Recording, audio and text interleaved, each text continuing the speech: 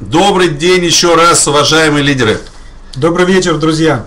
А, надеюсь, что теперь нас а, ничто не остановит и не помешает продолжить этот вебинар. И а, сегодня, скажем так, предпраздничный последний вебинар, посвященный опыту растущих лидеров в этом году. И сегодня у нас такой как раз гость непростой, можно сказать, такой золотой мастер предновогодним, а, почти как Дед Мороз. А, потому что у вас сегодня будет уникальная возможность задать все интересующие вопросы, связанные с развитием бизнеса в это интересное время, в котором мы находимся. Почему выбор пал на Кирилла Серебрякова, я объясню, наверное, достаточно просто, потому что в том анализе людей и лидеров, которые получают премию развития бизнеса, а, его количество из его структуры самое большое.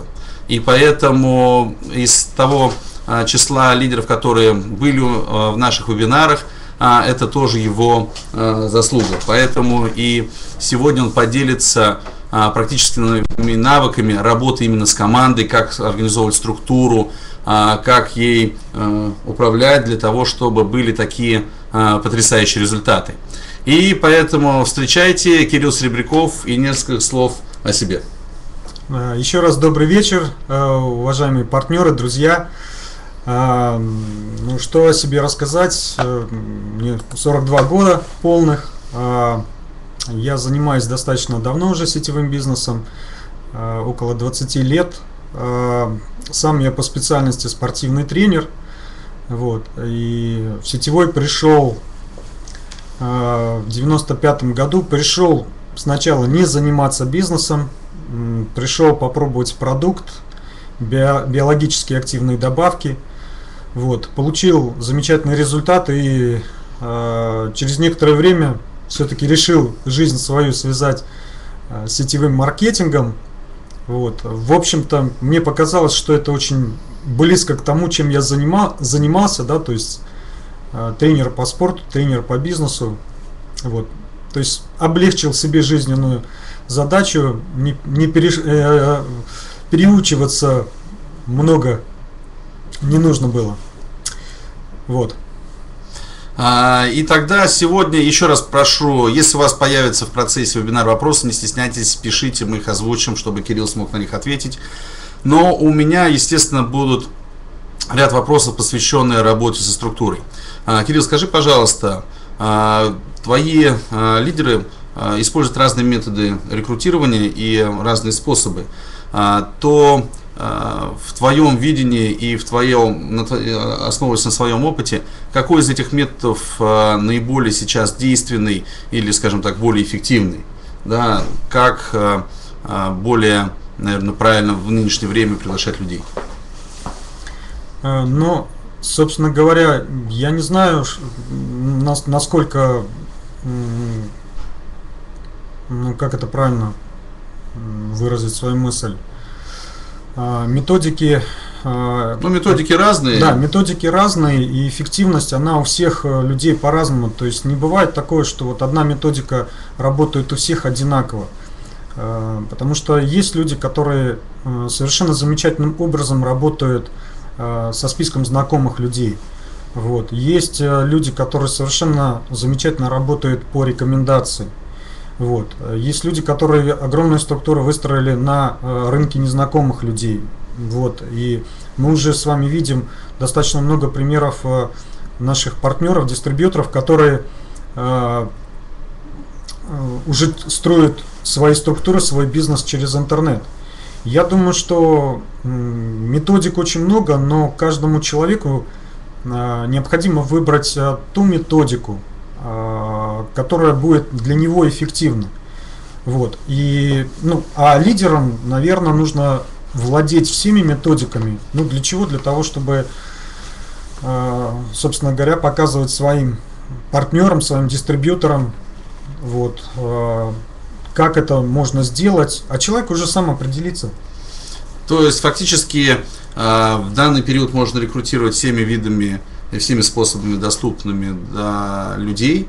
Вопрос, э, я так понимаю, что больше человеку ближе и э, более, э, скажем так, нравится, и плюс эффективность да, да. этого метода. Uh-huh. Я могу рассказать о себе. Что мне, да, тебе да, может быть ближе? Мне больше нравится методика работы со знакомыми. Вот. И, естественно, методика с рекомендациями. Но Дело в том, что сейчас вот в связи с последними изменениями, которые произошли в компании, да, вот с внедрением системы развития бизнеса, вот, э, хочется воспользоваться всеми этими возможностями, тоже быть полезным компании, собственно говоря, э, вырасти тоже, вырастить свой товарооборот, свои структуры, свои доходы в 10 раз. Вот.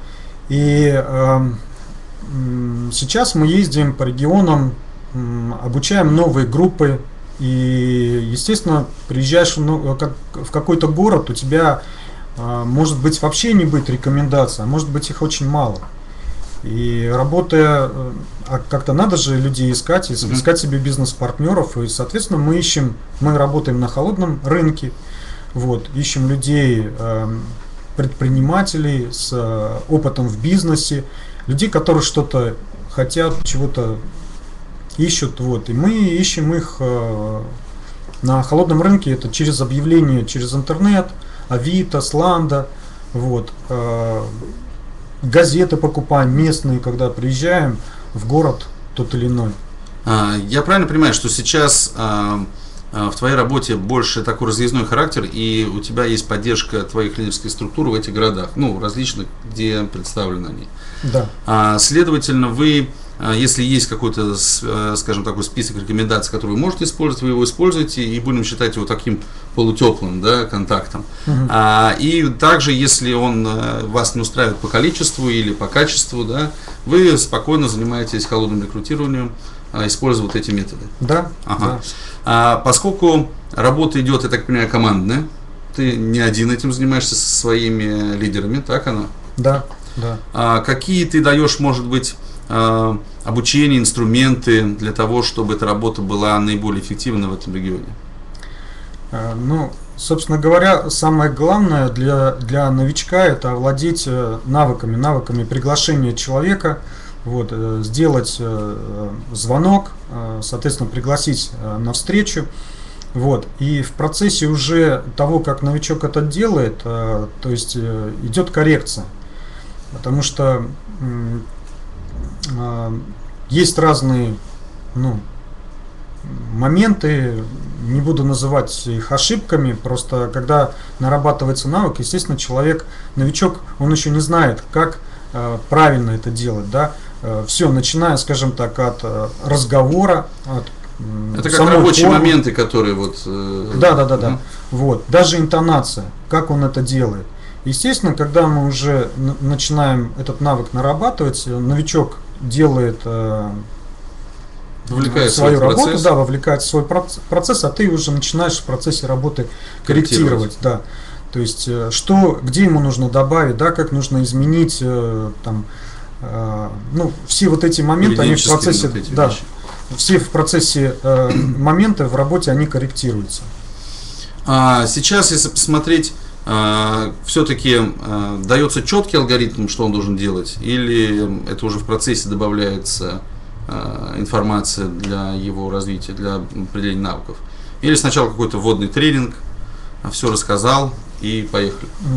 Да нет, вводных тренингов нет, просто садимся, я показываю, как я это делаю, вот, естественно, мы это записываем шаблоны звонков. Ну, допустим, если есть... мы, да, если мы там работаем, неважно, либо это по рекомендации, либо это э, звонки по холодному, да, рынку.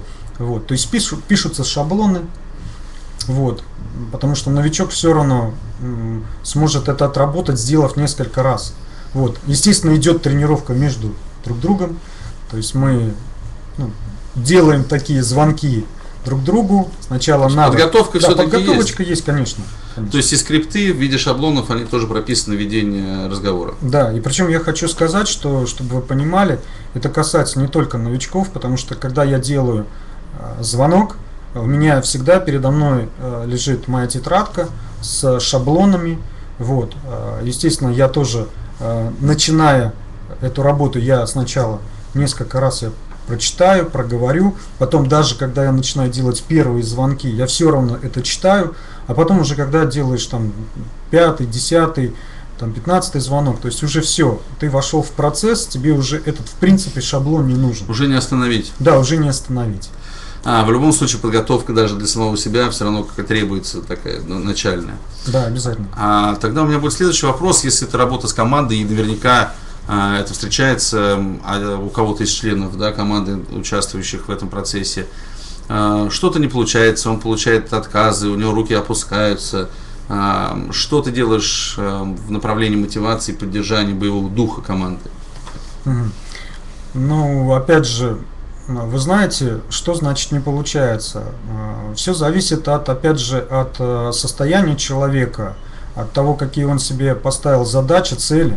Вот. И, собственно говоря, что он делает. Потому что, э, ну, если человек сделал там 3, 4, 5, ну, 10 звонков и не получил положительного ответа, ну, нельзя говорить о том, что у него что-то не получается. Потому что вот э, я понимаю, что человеку хочется сразу получить результат. И он и сразу море лидеров, да, которые бы. Да, сразу там, чтобы встречи назначали, чтобы все замечательно было. Вот, а такого нет. И человек начинает расстраиваться. Хотя на самом деле это вопрос статистики. Вот, потому что когда я начал заниматься этим бизнесом, мне сразу сказали, что это бизнес статистики, ее нужно отрабатывать. У всех она разная, тебе нужно выработать свою статистику. Вот, и э, для того, чтобы получить э, э, полноценный результат, нужно сделать большую статистику. То есть э, нельзя останавливаться там на десятом, пятнадцатом, двадцатом, тридцатом, пятидесятом звонке. Вот. А, я вспоминаю, когда... А, свой опыт. Да, свой опыт, когда я начинал этот бизнес, и, соответственно, я тоже начинал звонить, и, соответственно, я тоже не получал положительные результаты. И как большинство, скажем так, обычных людей, я тоже расстраивался. Потому что принять отказ, нет получить, да, ну это большинство людей начинает уходить в такой, знаете, самоанализ, самокритику. А, я, наверное, не то говорю, а, я, наверное, не так говорю, там, не так, э, там, не те слова, не тот телефон. Ну, Ищут многие... причины в себе и в окружающих. Да, а на самом деле э, это не совсем правильно. Почему? Потому что, эм, опять же, статистика работает на больших числах. И мне как-то Э, мой наставник сказал, что э, запомни, чтобы не расстраиваться, вот, тебе нужно э, что сделать? Тебе нужно получить 99 нет, чтобы получить одно да. Вот если ты получил 90, 100 нет, то тогда ты уже можешь задуматься, что ты неправильно делаешь. Вот. И запомни, всегда, скажем так, каждое нет, оно приближает тебя к нужному да. Вот, потому что э, нет, это, ну, скажи спасибо, человек отобрался, это не твой человек, но ты должен четко понимать, что каждое нет сказанное ближе э, э, э тебя, э, ну, скажем Чем так, сразу ты, да, да, будешь ты, получать сразу да. Да, потому что если ты да получишь, а потом сразу несколько нет, это иногда, знаете, даже гораздо тяжелее человеку пережить. Вот, поэтому можете привести пример приглашение по телефону на встречу через газету? Ну, конечно, могу. А, смотрите, а, обычно сразу хочу сказать, что а, когда я выписываю телефоны людей, да, ну, допустим, когда мы приехали в какой-то другой город, вот, я ни в коем случае не беру, не выписываю телефоны тех, кто ищет работу. Но это Твой метод. Ну, моя, твой, да, моя методика. Подход. Вот, и, в общем-то, э, мой спонсор Алексей Луконин, он всегда, в общем-то, меня обучал, что человек, который ищет работу, он ищет э, стабильность, он ищет э, там, зарплату, и навряд ли этот человек э, будет рассматривать что-то другое. Ему может даже понравиться э, предложение, но он не воспользуется им по одной простой причине. У него задача другая.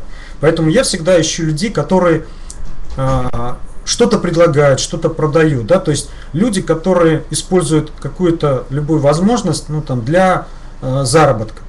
То есть я, для меня это люди, которые имеют определенный какой-то свой предпринимательский э, опыт, да, или жилку, вот, но по крайней мере пробуют себя на этом поприще.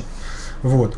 Поэтому ты э, выписываешь э, всех этих людей, делаю звонок просто, я звоню человеку, говорю, э, добрый день, представляю, э, вернее, добрый день, вот, э, если опять же имя человека, ну, ну могу, если вдруг, Михаил, да, да, ага. там, Михаил, э, здравствуйте. Добрый. Э, вот, Михаил, я вам ваш телефончик нашел в газете такой-то, но звоню не по сути вашего объявления. Вот, э, у меня к вам, Михаил, такой вопрос. А вы коммерческие предложения для себя рассматриваете? Ну, рассматриваем, конечно, если же бизнесмен.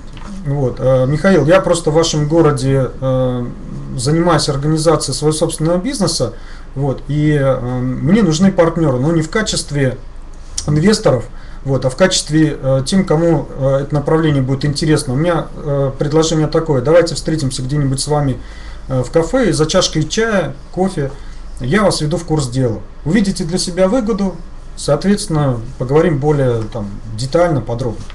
Вот. Вас такая форма встречи устраивает?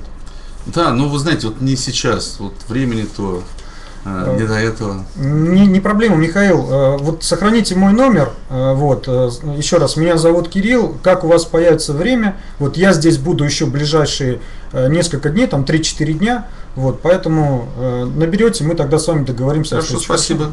Все, всего доброго. Вот. А, и я могу еще, допустим, если Михаил... Просто не хотел сразу да говорить, потому что как-то опять будет подозрительно. Мы говорим, что нужно 99 нет получить. А да, да, да, да. Кстати, э, я могу также, если, допустим, Михаил вот сказал, что ну сейчас времени нет и так далее, и так далее, э, я могу еще следующий... Э, аргумент. Ну, не аргумент, а как бы попросить у Михаила рекомендацию. А, кого-либо я мог порекомендовать, кого это заинтересует. Да, конечно. То есть, соответственно, Михаил, я понял, вы занятой человек, а скажите, пожалуйста, есть ли в вашем окружении люди, э, которые занимаются бизнесом серьезно, да, которые рассматривают что-то, ищут для себя интересное, вот. Возможно, мое предложение им будет тоже интересно, и они видят выгоду для себя. Могли бы мне хотя бы парочку номеров порекомендовать? Конечно. Вот. Записывай. Гурам Абашидзе. Да, Гурам Абашидзе. А, Эрик Негромян. Да, и, да, и я миллионер. А, а, соответственно, если мы сейчас, мы к вопросам, естественно, будем возвращаться, у меня вопрос к продолжению поддержки команды, да, когда вот они получают такое количество нет, и действительно правильное преподнесение информации их, наверное, мотивирует на то, что наоборот, они стараются получить нет, чем да. Бывает такое, но или все-таки здравый смысл радуется на, на 20-м звонке, когда ему говорят да. Да, ну я думаю, что у всех по-разному. Угу. Очень сложно э, определить. Э, все люди по-разному реагируют. Вот. Но я думаю, что опять же все зависит от цели человека. Потому что если человек четко приезжает в какой-то регион э, строить бизнес, да, строить структуру, вот, угу. он, собственно говоря, делает свою работу, получает и нет, и да. Вот. Ага, тогда у меня будет вопрос ну, уже в области, сейчас пойдем немножко планирования. А, сколько встреч обычно планируется на таких выездных а, а, поездках да, в день? Или какие, может быть, ставятся планы для своих лидеров? Mm. Ну, в любом случае, лучше ставить всегда а, себе а, план минимум, план максимум.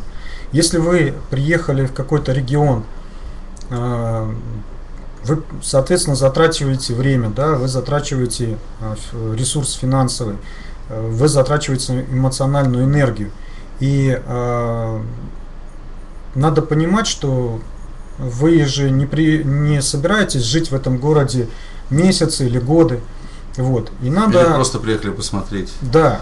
Нет, вы знаете, вот, лучше, да, лучше сразу приезжать э, с определенным состоянием. Э, то есть, если вы приедете, ну, осознавать цель визита в этот да, город. Да, да, да. То есть, если вы приедете там поучиться, ну, вы поучитесь, угу. приобрести навыки. Приобретете. Приобретете, да. Соответственно, там попробовать, попробуйте. Но опять же, это состояние, состояние, оно влияет на статистику. То есть, если, э, скажем так, вы приехали не с конкретной целью, а вот, допустим, что-то попробовать, что-то получить, да, вот, ну там навык, знание, вот, э, вам потребуется сделать во много раз статистики больше, чтобы э, у вас был ну, тот результат, результат который, который, вы, хотели. Да, который вы себе хотите, запланировали. Вот. А если у вас определенное состояние, то, соответственно, статистики можно будет сделать меньше. Вот какие цели ставятся перед такими поездками? То есть вы едете конкретно построить здесь э, структуру, структуру найти ключевого человека. Вот, э, Сколько встреч мы... должен в день проводить? Да. А, ну, смотрите, опять же, я думаю, что минимально надо ставить минимум там 5-7 встреч. Вот. Но это, опять же, кто как э, планирует, планирует, да. Вы можете разделить встречи следующим образом. То есть, если вы едете, э, допустим, у вас уже есть своя команда, вы приезжаете в город, вы можете для себя ставить конкретную цель, да, и вы можете ставить э, цель еще встречи э, с, с людьми своей команды. Но я думаю, что это вообще минимум должно быть ну, угу. не меньше пяти. Вот. А, Ставить и, больше будет как надо. Да, и а, а планку максимум это той, к которой вы стремитесь. Вот, поэтому, а, опять же, но опять же, это все зависит от цели. Потому что если уж вы приехали, потратили свое время, то лучше это время использовать по максимуму. Эффективно. Да, эффективно. Если мы говорим про 5-8 встреч в день, да, и в принципе это а, большинство из лидеров подтверждали эту статистику, что это нормальный темп а, работы для того, чтобы эффективно развиваться в компании. У меня тогда вопрос следующий. Соответственно, чтобы получить эти встречи, наверняка должно пройти какое-то количество контактов, где-то столько-то нужно найти этих рекомендаций. Uh-huh. Вот именно какая статистика, сколько должно быть рекомендаций, сколько из них соглашаются прийти на встречу и реально потом приходят. Uh-huh. Э, но, опять же, она э, у всех разная статистика. Потому что, опять же, говорю, это... Средний на твоем примере, Кирилл. Ну, средний, я думаю, что ну, исходить надо из закона Парета. Либо 80, минимум, максимум. Да. Из закона Парета, я думаю, для того, чтобы у вас э, необходимое количество произошло, ну, то есть, допустим, если вы 5 встреч хотите, чтобы у вас, э, опять же, происходило? Проис, про, происходили, да, это нужно как минимум 25 встреч, чтобы у вас было назначено. Да, почему? Вот я могу сказать, мы сейчас буквально недавно приехали э, тоже с региона, с, мы ездили в Калугу, вот, и э, ездили с, э, скажем так, с новыми э, партнерами, дистрибьюторами, это структура э, Татьяны Кирюшкиной, вот. И вот девочки, там Оля Лапшина, э, Татьяна Салтыкова, Галина Хандинская, Марина Мелешкина, вот мы с ними ездили. То есть у девочек не было совершенно никакого опыта э, работы через бизнес. То есть э, они ну, работали последний, скажем так, год, только, ну, если говорить о там, Оле Лапшиной, о а, Тани Салтыковой. То есть это девочки, которые еще год назад только-только пришли в компанию. Вот, они только-только начали пить продукт. Вот. Уже э, в начале этого года, весной, они приняли решение, э, что им интересен сетевой маркетинг. Вот. А после форума, то есть они приняли решение, что они уже хотят заниматься бизнесом. То есть у них не было никакого опыта работы через бизнес. Вот. И мы вот с ними как раз таки начинали осваивать вот эти навыки. Вот. И статистика у всех была разная, потому что бывало так, что э, там один день, неважно, там я без имен, вот, ну кто-то сделал 20 звонков, у него было назначено 12 встреч. А кому-то, чтобы назначить там 5 встреч, нужно было сделать там около 40 звонков. Вот. Но это не значит, что все встречи происходили, да, то есть Э, получается, что там может быть назначено 12 встреч, а пройдет э, там 5, 4, 3. То есть все равно есть какой-то процент, да, не прихода уже даже назначенных встреч по различным причинам. Да, кто-то отзвонился, да. Отзвонился, не отзвонился. Да, поэтому всегда нужно исходить из, чтобы состоялась минимальная э, э, Количество количество встреч. встреч. да. То есть исходите из закона Парета, да, то есть если 20% э, скажут да, то, собственно говоря, значит, э, нужно порядка 25 э, встреч назначить, чтобы Сколько тогда должно быть рекомендаций или контактов, звонков для того, чтобы назначить 25 встреч на день? Опять же, можно брать закон Парета, потому что статистика, она... 100-125. Да, да. А, Но лучше делать столько. Потому что меньше, вот еще раз говорю, у девочек был а, реальный а, опыт. То есть они сначала, естественно, первые дни радовались любой назначенной встрече, а, делали не так много звонков. Мгм. Потом, когда они увидели, что встреча назначается столько, а, а, а, происходит гораздо меньшее количество, то есть они начали увеличить количество э, звонков, соответственно, начали увеличивать количество встреч, вот, чтобы выходить на определенный, скажем так, свой ну, э, уровень, ну, уровень, план, да, свой, да, свою план. цель. А если посмотреть распорядок дня, то есть я понимаю, что надо это найти контакты, рекомендации, плюс это сделать обзвон, а, плюс это назначить встречи, и не дай бог придет именно 25 человек, то это 25 встреч. Ты смеешься такого?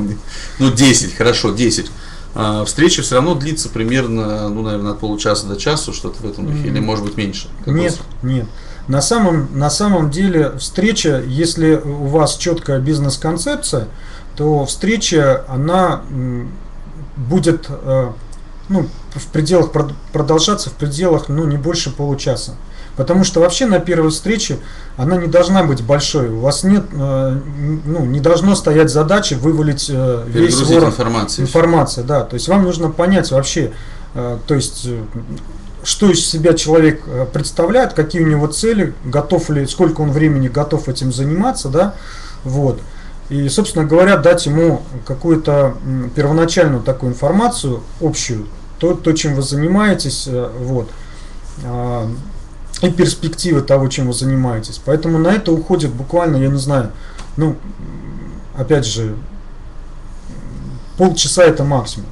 Мгм. Поэтому если вы будете назначать каждые 5 полчаса, часов только встреч, ну, грубо говоря, Да, если 10 да. человек, а остальное время это плодотворные обзвоны и да. а, назначение Ну, контактов. Опять же, встреча не состоялась, Мгм. вы можете Опять же, заняться заняться, звонками. да, звонками. Вот есть э, хороший вопрос, стоит ли перезванивать еще раз тем, кто а, не пришел на встречу. Ну, здесь я бы, наверное, разделил бы, наверное, две причины. Те, кто даже не отзвонился, не пришел, Да. или, может быть, у кого-то была какая-то уважительная причина, что, ну, все бывает, и, наверное, здесь можно подразделить на эти категории. Ну да, совершенно э, Михаил прав, что здесь опять же надо смотреть по какой причине, потому что если человек отзвонился и сказал, что у него какие-то там ну, срочные дела и вот он Готов завтра извиняется, да, там или Вот. послезавтра. Но как правило, как правило, Мгм. это очень редко, очень редко, что если встреча отменилась, то она Потом состоится. состоится очень редко. Бывает, конечно, исключение из правил, но как правило. С отсюда, наверное, и э, вопрос, да, стоит ли тратить на это время. Я так понимаю, что Перезванивать нет, не надо. Еще раз, э, если человеку это нужно, Он он, набрать. э, знает ваш телефон, да, он вам сам перезвонит. Потому что когда э, вы начинаете ему перезванивать, он не пришел, зачем вам вообще разбираться, почему он не пришел? То есть он уже, э, в принципе, выбор свой сделал. Но если вы будете перезванивать, показал вы свое будете- намерение, да? вы будете показывать э, какую-то свою заинтересованность. А, вы не знаете этого человека, зачем уже, скажем так, держаться за человека, который, ну, уже как бы себя в какой-то мере показал. Мгм. Вот. А, Спасибо за а, данный ответ. У меня тогда еще будет вопрос с точки зрения планирования. А занимаетесь ли вы своей структурой более глобальным планированием, там, скажем, Сейчас вот Вера э, Молчунов. Да, про Молчунов. То есть, э, Вера, я правильно вас понял, что это те люди, которые э, вообще, ну, получается, даже не отзвонились. Вот. Ну, если это про тех, кто не, не отзвонился, нет вообще смысла перезванивать. Вот, и запомните, допустим, э, в любом случае, вот я обзваниваю людей, да, я назначаю встречи на следующий день, да, или если я утром, я могу э, назначать встречи на вторую половину дня. Соответственно, где-то за час-полтора до встречи я могу либо позвонить человеку, либо смс-ку отправить, э, да, что там, допустим, Михаил, да, подтвердите, пожалуйста, встречу, она состоится, вот. Если человек, соответственно, подтверждает, подтверждает, или да, все. А если уж молчит, то уж точно. Если молчит, да, это бесполезно, уже даже можно не, не Хорошо, тогда переходим к вопросу планирования. Угу. А, такого, я бы считаю, глобального, да, с точки зрения, может быть, там на полгода, на год или, может быть, на квартал. А, это мы прочитаем, Кирилл, чуть попозже. А, с точки зрения планирования. Занимаетесь ли этими вещами в своей структуре или как обстоят дела? Да, но, а, естественно, занимаемся, но я так понимаю, что вот сейчас нам нужно вообще пересмотреть, и мы не просто как бы нужно пересмотреть, мы уже пересматриваем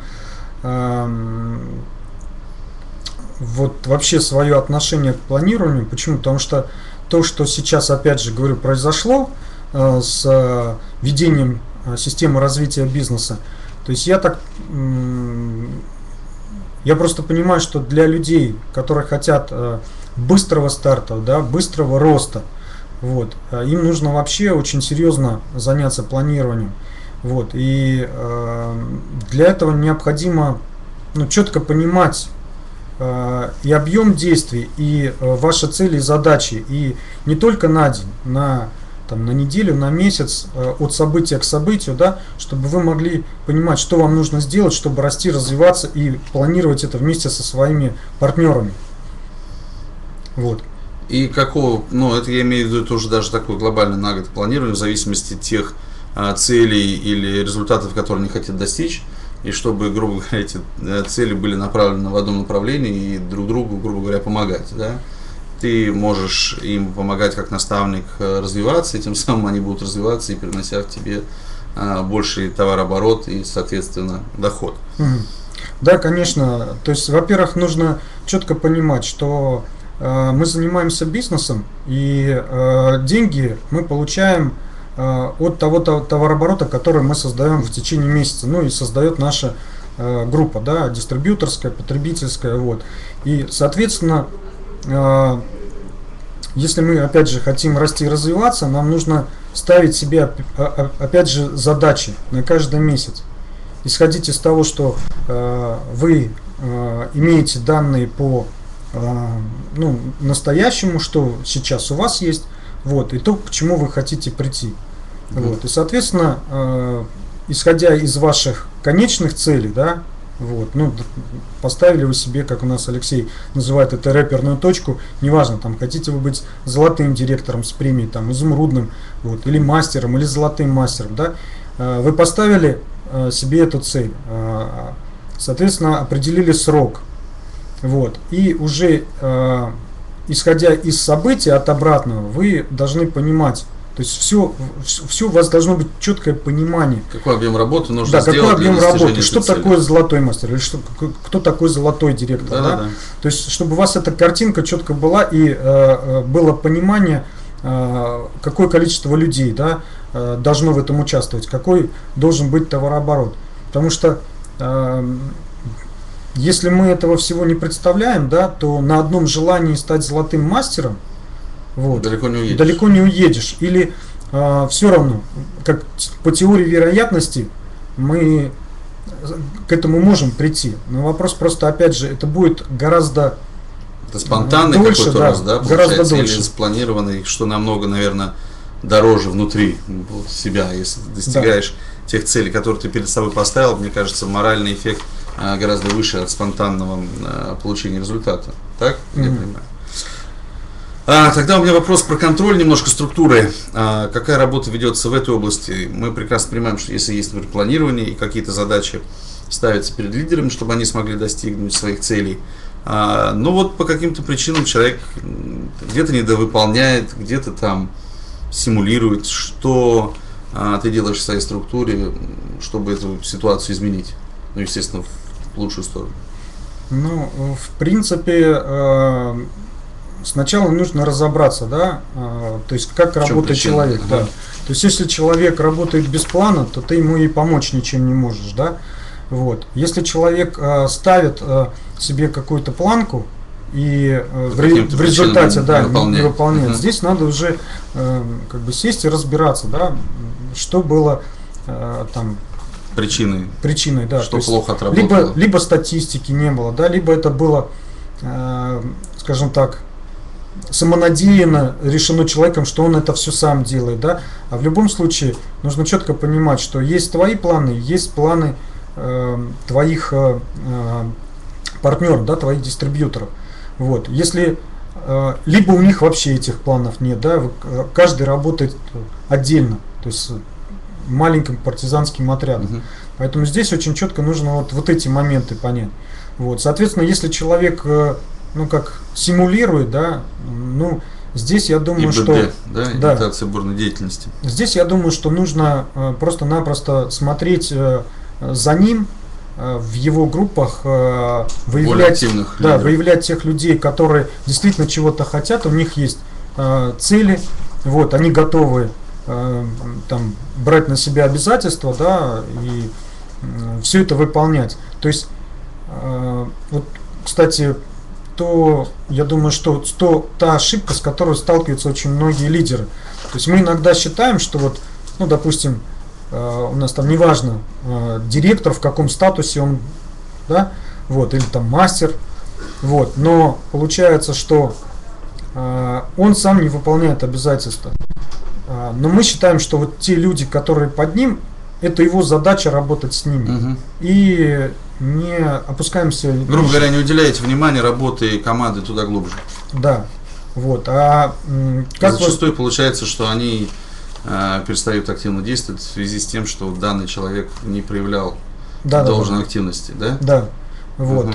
А ваша задача, каким образом вы сможете, вы помогая э, этому человеку вырасти, да, в любом случае получается, что это товарооборот же вашей структуре, соответственно, вы получите больше денег, плюс ваш авторитет повысится, и даже если, допустим, э, подобный э, спонсор этого дистрибьютора ну там по какой-то причине разной, не будем опять же обсуждать, вот, это может его, ну, смотивировать. смотивировать, да, пересмотреть свои, скажем так, планы, задачи, вот, uh-huh. и оценку, и э, он начнет запускаться. Я правильно рекомендации, ну, следующее, что если мы видим человека, который симулирует или, по крайней мере, не выполняет те э, обязанности по развитию поддержки лидерских структур, рекомендация спуститься за э, ним, да, и да. найти тех лидеров, которые готовы развиваться и помогать им. Конечно. Да? А конечно. А что, это минимизирует сообщение с данным лидером, который вот такой э, пассивный, или какие действия происходят? Ну, здесь, опять же, здесь нужно сначала разобраться в причинах, почему э, данный лидер э, Может, ему в данный момент образом. просто не захотелось уже все, он ему нравится э, та стабильность, которую он имеет на сегодняшний момент, или тот доход, и его все устраивает, он больше, может быть, не желает активных действий проводить там по 10 встреч в день угу. и так далее. А тебе может говорить, что нет, я работаю, приглашаю. Ну, Но вопрос, сколько обычно много отвечает, или там средний, без конкретики. Ну, проверить, проверить всегда это можно, но как бы у меня нет задачи э, проверять, контролировать э, своего партнера, дистрибьютора, угу. да, по одной простой причине. Я делаю свой бизнес, он делает свой. Вместе, да, вместе мы можем сделать только больше. Угу. И э, если, допустим, я вижу, что он там, ну, там не разделяет эти не, не разделяет, а у него есть люди, там все равно, знаете, очень часто получается, что все равно э, в структуре появляются люди, которые начинают задавать вопрос, которые ну, хотят большего. Я таким же был, потому что у меня э, в свое время, когда еще у меня не было спонсора Алексея Луконина, да, когда я делал тоже первые шаги, э, и я был э, из, э, скажем так, из тех дистрибьюторов, которым всегда нужно было больше. Мои там спонсоры могли не ездить на какие-то события, они могли какую-то работу не, не делать, но мне этого нужно было. Я ездил на события, я старался общаться с лидерами, с успешными. Вот, э, я спрашивал, что они делают, э, я слушал э, э, ну вот, э, историю успеха тех людей, которые, скажем так, чего-то достигали. То есть и старался как можно больше общаться именно с этими людьми. Потому что от этих людей ты получаешь энергию, вот, от этих людей ты получаешь такую, знаете, какую-то дополнительную мотивацию, вот, и это позволяло мне расти, развиваться. Вот, и здесь Достигать думаю, тех результатов, которые Да. достиг. Да, Хорошо, тогда вопрос поступил, работаете ли вы с ИП номер один и ИП номер два сейчас? да. А, Единственное, вот э, за- задала вопрос еще Светлана? Галина А, э, Ляхова. Э, На сколько дней А, вы уезжаете в регион. регион? Вот, но эм, мы уже, опять же, это мой опыт и, э, скажем так, практика, да. То есть, смотрите, эм, смысла ехать надолго в регион, ну как бы нет смысла. Потому что если вы приезжаете э, в какой-то город, э, и у вас э, там, ну даже если есть знакомый, есть несколько рекомендаций. Это говорю, это работа, вот мы э, с Михаилом разговаривали, сколько, сколько можно взять рекомендаций. Но опять же, по-разному. Там взяли вы, допустим, ну, 20, 30, ну, 40, ну, 50, ну, 100 рекомендаций. Мгм. Это, в принципе, работа там одного дня. одного дня получается Да. по нашей статистике. Ага. Одного дня. Вот. Дальше мы обращаемся к, опять же, тем же самым методам работы. Это холодный рынок. Это объявление, а, либо ну, газета, либо Ну, интернет. различные способы, э, которые, методы, которые позволяют Да, можно, конечно, ходить по улице, знакомиться, да, но э, вы представьте себе, на- сколько времени на это потребуется.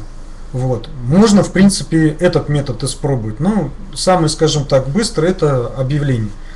Вот. Поэтому, ну вот и смотрите, приезжаете вы в какой-то город, открываете там Авито, Сланда, да, вот, выписываете телефоны э, людей, которые чем-то занимаются. Ну,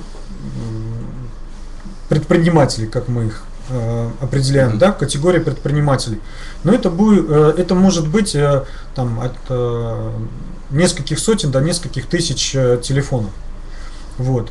Если все зависит еще раз э, А эти от- сотни тысяч телефонов влияют на количество дней в регионе? Или это... ну, в принципе, конечно, влияет, потому Вернее, что я так понимаю, что больше волнует вопрос. Вот вы приехали, начинаете работать. Как, когда вы понимаете, что надо либо менять регион, место, да, регион, или ну, по большому счету, если неделя, в две, течение там. 10-12 дней э, ну, у вас не нашелся человек, ради которого можно оставаться дальше, Мгм. то есть я не говорю о потребителе. Потребителю тут еще вообще нужно думать, а нужен ли вам потребитель. Потому что вы уехали, будете ли вы с ним Будет ли возможность вас его Да, поддерживать? поддерживать. Потому что ну, очень часто бывает так, что приехали, подписали, уехали и И все, и там И всё. бросились. Вот. Но в любом случае э, получается, что в течение э, 10-12 дней, даже там иногда раньше, в течение первой недели, если вы не нашли кого-то из людей, э, вы понимаете, уже э, ну, энергетика падает. Потому что в начале, когда вы приехали, у вас там энтузиазм, там, у вас звонки и так далее, и так далее. Потом вот такой режим, да, получается, что э, энергетика уже другая, и, собственно говоря, уже э, ну, Не тот- да, не тот Алексей. Алексей нас всегда учил, говорит, то есть надо поменять э, место, да, потому что чтобы, как, когда вы приезжаете на новое место, то есть, опять же, это новое место, это новые энергии, опять у вас новое состояние, вот, поэтому в течение, скажем так, ну, давайте возьмем 7, 10 максимум 12 дней, дней. Мгм. вот. Окей, спасибо за ответ. Да, но если у Мгм. вас появился человек, То э, можно задержаться. Да, то естественно, и опять же ненадолго. Почему? Потому что э, очень важный момент это э, научить человека, то есть дать ему необходимый перечень базовых навыков, да, то есть составление списка э, знакомых, э, вот как э, позвонить э, там знакомому, незнакомому пригласить на встречу, да, соответственно, как взять рекомендацию. То А, есть такое определенное вовлечение уже в процесс да, да, да, а, показать, как, бизнес-развития. да, показать э, там э, концепцию здоровья, чтобы он э, буквально через несколько встреч сам уже мог это сделать, концепцию бизнеса, вот, и э, дать возможность человеку самостоятельно уже начать эти навыки развивать, потому что если вы за них, да, за него будете это все делать, да, вы можете просто-напросто человека, ну, пересидеть. У него атрофируется все. Да. Он так не научится ничему.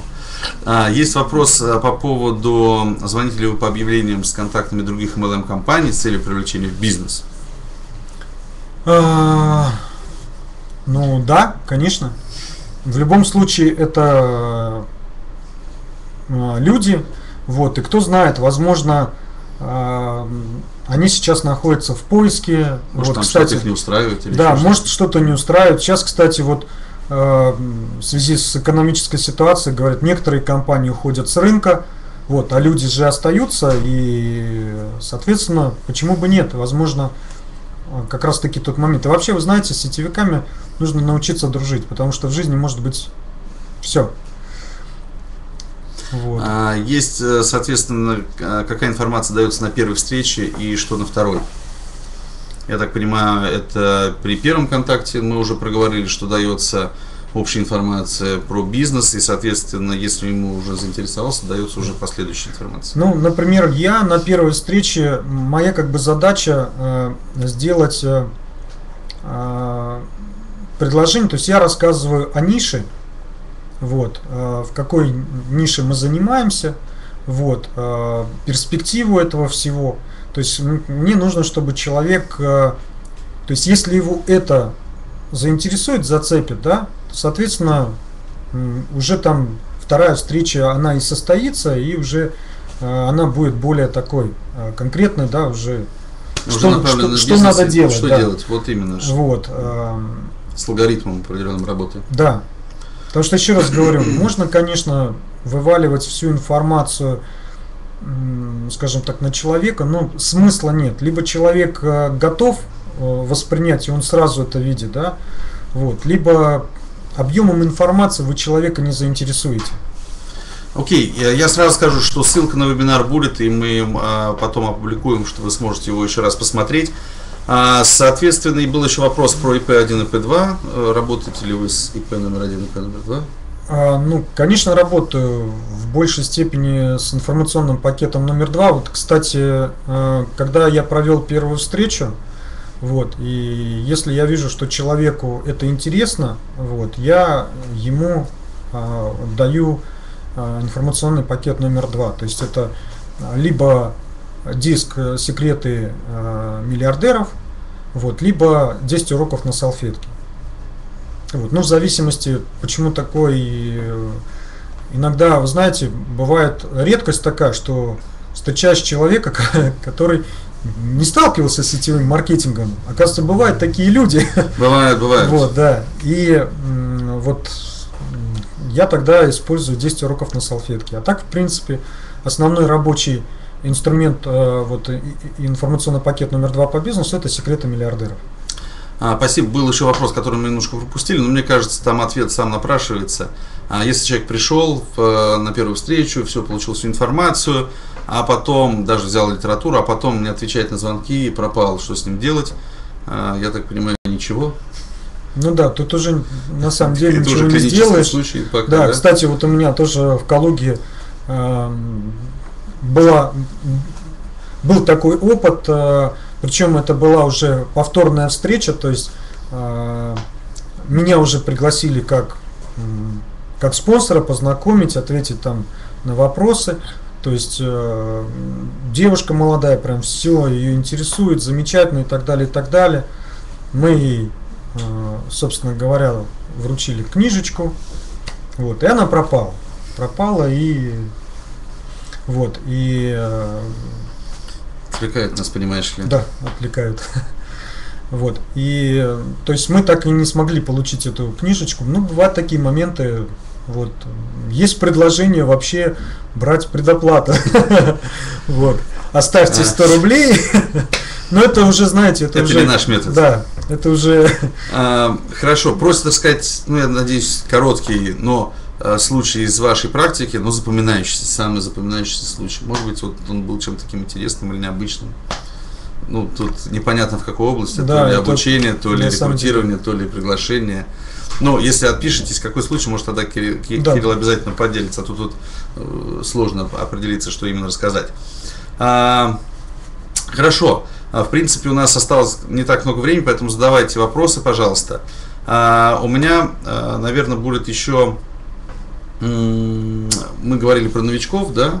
И, соответственно, которые приходят, вы даете им э, определенную информацию, они приходят, отлично развиваются. И мы сказали, что если это особенно в регионе, да, то мы задерживаемся на какой-то период времени. Да. Да. А, вот интересно послушать, вот если нашли человека, какая статистика а, таких людей бывает, что, ну, ты сказал, от, хотя бы одного, да, а, именно найти такого лидера. Это такая статистика или все-таки это, ну, как минимум, а максимум какой бывает, там, 2-5 человек за а, 10-12 дней? Ну, здесь я прям, ну, мне сложно сказать. Обычно, когда находится один человек, ты уже начинаешь э, все усилия э, концентрируешь на то, На нем. чтобы, да, на нем, чтобы простроить. э, А, э, то есть его уже увлекать и обучить. да, И ты уже перестаешь заниматься именно таким прямым поиском новых людей и контактами. Да, то есть стараешься э, за ним уже, э, скажем так, простроить структуру, и желательно это не в, э, скажем так, не во фронт, а в глубину, Мгм. вот, чтобы, ну, подпереть, так называемую свечку сделать. Мгм. Тогда вопрос будет обычно при первой встрече, человек задает много вопросов, но это, наверное, иногда это нормально от человека, как а, закрыть встречу, да, или ее закончить и не давать слишком много информации, а пригласить уже на вторую, чтобы он пришел еще такой более осмысленный, наверное. Как ты это обычно Ну, делаешь? вот Да, просто опять же, это надо смотреть по ситуации, очень сложно вот так вот э, ну, пространно ответить, да. Э, Потому что по-разному люди задают вопросы. Есть э, конкретные вопросы, Мгм. а есть э, ну, пространные вопросы. Поэтому в зависимости от того, что человек задает, То есть, если он по существу вопросы. задает, ты Да, отвечаешь. Если уже да. начались какие-то там отвлеченные или а, какие-то очень странные вопросы, ты пытаешься уже прекратить и пригласить на вторую встречу. так? да, вот в- а- а- анкетами мы не пользуемся, Мгм. Вот. А, Единственное, что а, можно у этого человека, опять же, взять рекомендацию. То есть, если он задает много вопросов, ты можешь, э, ты можешь, э, собственно говоря, сказать, вы знаете, давайте сделаем так вот. э, э, Вы можете дать мне рекомендацию людей, вот, э, и я, возможно, кого-то из них вперед. заинтересую, да. А вы уже потом сами решите, вам нужно это или нет. Тогда вопрос. А, знаешь, все интересуются секретами успеха. Да? Такой вот, э, такое есть понятие. А, расскажи, есть ли у тебя какой-то секрет успеха а, с точки зрения развития компании, роста? Да? В чем твой успех или твой секрет для а, быстрого роста? Ну, не знаю даже по поводу секретов. а, знаете, Все я- рассказал. Да, вроде все рассказал, но э, я просто, знаете, вот я стараюсь, э, скажем так, людей вдохновлять. Э, Не ругать, не, не требовать, не, скажем, ну, То есть нет- нет настоящий какой-то- лидер. нет какой-то, ну, не знаю, это опять же все зависит э, от, э, скажем так, человека, от его характера. Вот. Я просто знаю, что человек вдохновленный, в хорошем э, состоянии, он гораздо больше э, сделает, да, и готов будет сделать, чем человек, от которого чего-то требуешь. Ну, я, в принципе, сам такой, да, то есть, если меня вдохновлять, вот, я горы готов свернешь. горы свернуть, да, там прям какой-то дополнительный источник энергии дается, да. А когда со мной начинает, ну, допустим, если начинает работать там с, скажем так, с требований чего-то, ну, мне гораздо сложнее так функционировать. Ага, То есть пон- мне нужна, мне нужна э, поддержка, мне нужно вдохновление. То есть э, с, с точки зрения признания и поддержки со стороны наставников, команды, тебя мотивируют на достижение высоких результатов. Так? Мгм. А тут э, поступает еще вопрос, э, я не знаю, к чему там Галина задает. Кирилл тебя спрашивает, это сетевой? К А, ну по вопросу? звонку, допустим, А. когда ты звонишь, и Ага. они говорят, это сетевой маркетинг. Естественно. Вот, конечно, да, это сетевой маркетинг. А, дальше, если человек уходит вдохновленный, договорились на регистрацию и продукт, и не регистрируется, тоже, тоже не перезванивать. А ну почему же? Э, Смотрите, э, опять же, э, не регистрируется. Но, не совсем понятно. То есть обычно, если человек принимает решение, да, вот, он приходит на, на встречу вдохновленный. Ну, бывает, да, бывает так, что человек уходит, все нормально, и потом пропадает. Но здесь, э, знаете, еще какой очень важный момент. Очень важный момент, э, когда человек уходит вот в таком вдохновленном состоянии, э, вы скажите, предупредите ему, чтобы он пока ни с кем не делился информацией, или если он хочет с кем-то поделиться, там, с близкими, с друзьями, Пусть чтобы, да, чтобы, да, лучше организовать встречу с вами. Почему? Потому что, и вы объясните, почему это может быть что, вы знаете, очень часто наши близкие люди, вот, наши знакомые имели, ну, э, э, может быть, отрицательный опыт, или даже не имея опыт, но очень часто, э, скажем так, определяют, что это плохо по слухам других людей. Это сетевой, все, да. это плохо, или MLM. Да. да. Не вот. вдаваясь в подробности, что и, за компания, чем занимается, или пирамиды. Там. Да, да, да, да, да. И человек, соответственно, вам, естественно, если близкий человек скажет, а мы, как правило, начинаем с одним делиться, с другим, Еще с третьим. самое главное прислушиваться к близкому человеку. Да. И получается, что вам дал человек э, ну, как бы негативную установку, даст негативную установку, и вы просто-напросто э, не сможете сделать э, правильный самостоятельный выбор. выбор. Поэтому, да, сделайте свой выбор, потому что это ваша жизнь. А, у меня тогда будет еще один вопрос. А, э, поскольку команда и, ну, часто работает в регионе, и а, команда достаточно большая, где вы проводите встречи с своей командой? Понятно, что они проходят регулярно основе в течение месяца. Где обычно встречаетесь? В офисе или где-то в кафе? Это про встречи или про школу? Это про работу со своей структурой, своими лидерами. Угу. Школу, если ты хочешь, ну, дальше пойдем, да, про дистрибьюторов, это уже дальше. Да, но а, а, все зависит, опять же, от условий, но, опять же, Алексей э, нас э, всегда учит э, быть непривязанным э, ну, каким-то тепличным условиям да, к офису, потому что офисы бывают разные, во-первых, потом офис всегда это определенная, скажем так, ну, территория ограниченная, ограниченная да, вот, и, как правило, вот если она может себе, ну, содержать там порядка там 10, 15, ну 20 человек. Вот, э, и вы больше расти не будете, если вы будете только на этой территории.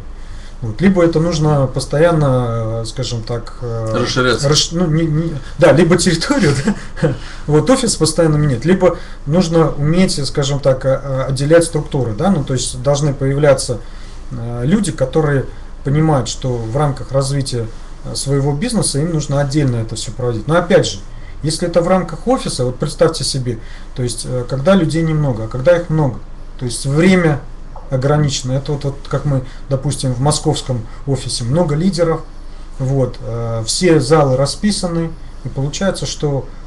Опять есть ограничения, которые да, есть ограничения. эффективно вот, расти и встречаться. Всегда можно сейчас э, искать хорошие залы, помещения угу. в бизнес-центрах. Вот, и более того... А, в кафе работаете?